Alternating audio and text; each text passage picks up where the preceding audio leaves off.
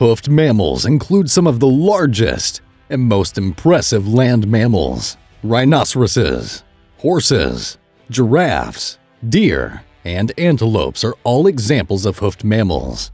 These animals all have a hard nail-like case, called a hoof, covering each toe on their feet. There are some animals in which the hooves do not fully cover the toe and are more like nails, such as in camels or hippopotamuses.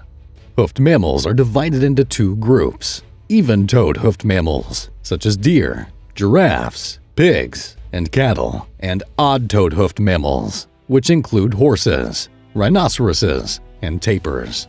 Odd-toed hoofed mammals stand on one or three toes, while even-toed hoofed mammals stand on two or four toes. Most hoofed mammals are plant eaters. Hoofed mammals are mostly found in open habitats, such as grasslands. Hoofed mammals can run very fast for long distances. They run on their toes. Running on fewer toes means they use fewer muscles, helping them save energy. Hoofed mammals also have long lower limbs, which allow them to cover more distance with each stride. Claws and talons are specialized tools that most land-based predators have evolved, and with good reason.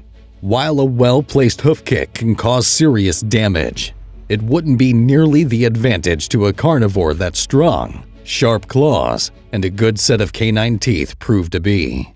Predators need to dispatch their prey quickly after they catch it, or the wounded animal may still escape, meaning no dinner for the hunter. Clubbing the prey to death while being unable to hold it is inefficient at best. There aren't currently any hoofed animals typically described as carnivores. Wild boars often eat animals, but they are omnivores, not primarily carnivores, and not carnivorans. For that matter, lots of hoofed animals will eat animal-derived food given the opportunity. Cows and deer will eat small birds, Giraffes like to chew on bones and skulls for minerals. Lots and lots of herbivores will eat carrion if they come across it. Meat, after all, is energy-dense and nutritious, and herbivorous animals do not have vegetation ideologies to adhere to. There had been hoofed carnivores, but they are all extinct. Entelodont is a scary-looking prehistoric monster that is also referred to as the Terminator pig. Entelodonts were gigantic, pig-like omnivores, weighing around 50 to 900 kilograms that roamed the forest and plains of North America and Eurasia around 45 million years ago. Despite their nicknames, these animals weren't actually pigs. Instead, they were more closely related to hippos and whales. They're described to possess cloven hooves, just like modern-day ungulates and a heavy head that was carried by a spinal hump, as well as full sets of teeth, including large canines, heavy incisors, pointed premolars, and flat molars, all of which suggest an omnivorous diet that allowed entelodonts to feed on plants and other animals alike. Armed with this equipment, the entelodont was a much feared killer, a bold thief that wouldn't hesitate to steal a neighboring carnivore's kills in the process. It used its monstrous size and unparalleled power to intimidate other predators, some being way dwarfed by this enormous behemoth, and fend them off. As well as a powerful hunter that utilized its superior strength and nightmarish jaws to crush the skull of its hapless victim. Any animal could be on the menu, no matter how large or simply insignificant, such as primitive horses and camels. Over the years, when climatic conditions began to change, the entelodont evolved to become even larger than it initially was, but that only led to its downfall, especially when it couldn't adapt to hunting new, faster prey, including some that developed longer legs to hit whopping speeds of up to 80 kilometers an hour or more, and it was outcompeted by new carnivores that had more sophisticated weaponry and were far more adaptable including the formidable Amphicyonid, also known as the bear dog. In light of this, entelodonts eventually followed the path to complete extinction 19 million years ago.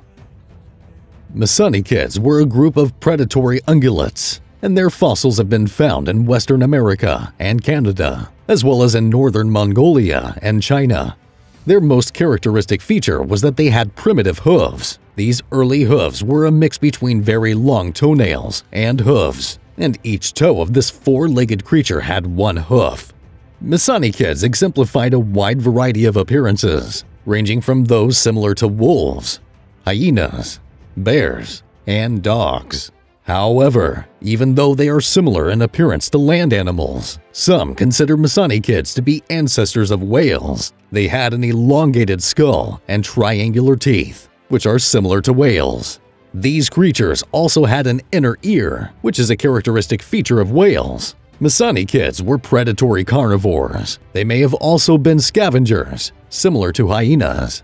They had powerful jaws, and their teeth, as previously mentioned, were similar to whales' teeth. This evidence suggests that these creatures probably ate marine life and scavenged off the shore. However, they probably used their primitive hooves to hold the meat in place while they tore it off using their teeth. Andrewsarchus is a genus of carnivorous mammal that originated during the Middle Eocene epoch in what is now Asia and Africa.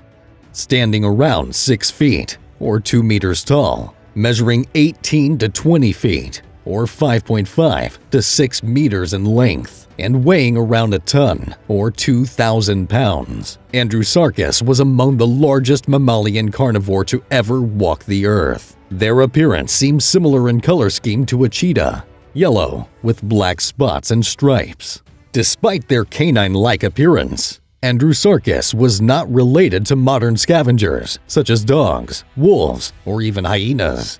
They were, in a sense, sheep in wolf's clothing, but they were definitely not as docile as sheep. Their huge, one meter long jaws are designed to crush anything, such as a sea turtle. There were more other hoofed predators. Some early ancestors of today's whales ate fish, but had hoofed feet. An example of one of these hoofed cetaceans is Indohyus. There is even an extinct species of pig, a true pig, not an entelodont, which seems to show adaptations for high carnivory. Even bone-crushing Tetraconodon, however, it's still an obscure and little-studied species. There have been several occurrences of hoofed animals going carnivorous in prehistory. It's just that all the lineages have gone extinct. As to why they're gone, it's not to do with their hoofedness, but rather for miscellaneous unrelated reasons. It's not always clear why you don't find hoofed carnivores nowadays, though there is a plausible theory. To catch prey, including large game like zebras and antelope, a carnivore is requiring of speed and agility, assisted by sharp claws and paws that walk on toes or digits. Hence, some carnivores' classification as digitigrades. While hooves are more useful to run like hell, they aren't really efficient in accomplishing maneuvers to hunt. Another hypothesis could be that for them it's easier and steadier to eat plants than to hunt other animals for food. All the big animals are pure plant eaters today. The biggest carnivore is the polar bear, about 400 kilograms or 880 pounds, compared to the elephant with 6,000 kilograms or 13,200 pounds. Plant eaters have longer lifespans, so why would hoofed carnivores not use the first evolutionary chance to turn into omnivores and plant eaters? That's all for today. If you enjoyed this video, don't forget to like, subscribe, and share it with your friends. You can also leave a comment with what you would like to see in the following videos. Thanks for watching! See you next time!